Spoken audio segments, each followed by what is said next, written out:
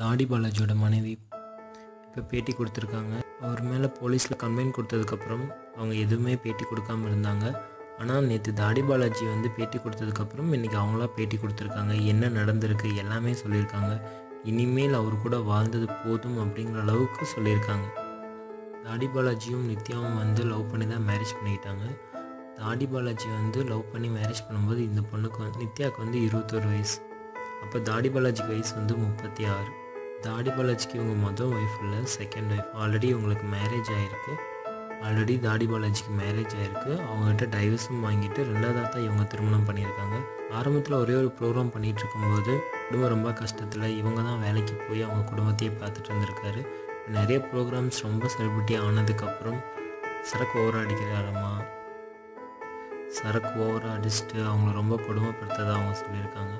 நிறைய பிரச்சனை எக்கச்சக்க பிரச்சனை. அவங்க சொல்கிற பிரச்சனை பார்த்திங்க அப்படின்னா அவ்வளோ அடிக்கிட்டு போகிறாங்க தாடி பாலாஜி பற்றி நமக்கு தெரிஞ்ச வரைக்கும் என்ன அப்படின்னா ஒரு ஒரு ஜாலியான டைப் ஜாலியான டைப் எல்லா விஷயத்தையும் வந்து ரொம்ப அசால்ட்டாக எடுத்துப்பார்.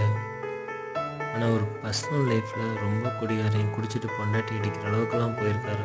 இது வதந்தியாக இருந்தால் கூட ஏதோ நம்பாமல் விட்டுருக்கலாம். ஆனால் அவங்க ஒய்ஃபை பேட்டி கொடுத்துருக்காங்க அப்படின்னா இதை நம்பாமலாம் இருக்கவே முடியாது. காமெடி நடிகர் விஜய் டிவியில் இப்போ மேக்ஸிமம் ப்ரோக்ராம் அவர் தான் பண்ணிகிட்ருக்காரு இவ்வளோ பேரை வச்சுக்கிட்டு இப்படி பண்ணுறது பெரிய தப்பான விஷயம்.